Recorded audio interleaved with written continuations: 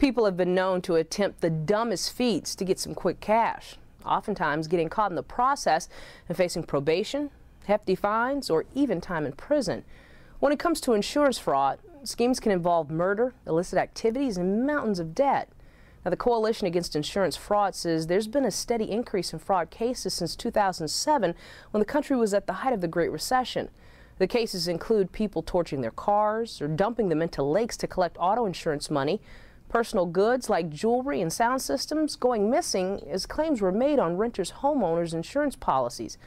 Even fake health plans have started cropping up around the country. So what can you do to protect yourself from becoming a victim of insurance fraud? One of the best ways is to be an alert consumer. Is the price too low and the coverage too generous? Did you sign up too easily? Is the seller too pushy?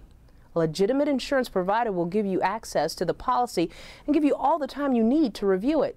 They'll also be willing to answer your questions. Now, for more stories like this one, just head to our website. Thank you for watching.